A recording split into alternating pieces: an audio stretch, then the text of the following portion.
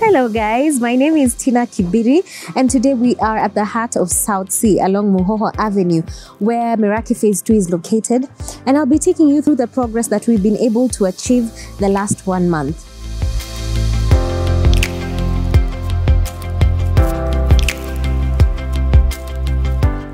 So last month, we were working on the columns that span from the 14th floor level to the 15th floor.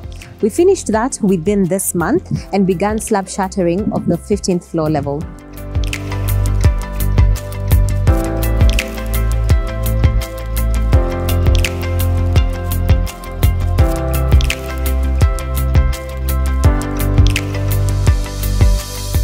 After the slab shuttering, we began the steelwork and finally casted the 15th floor level.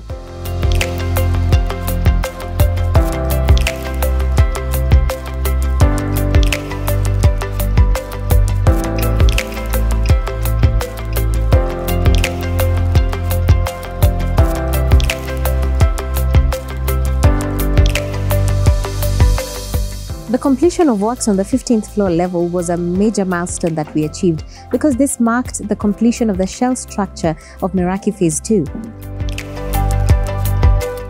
Currently, we're doing the external walling of the shell structure and after we're done with this, we'll begin internal partitioning of various units.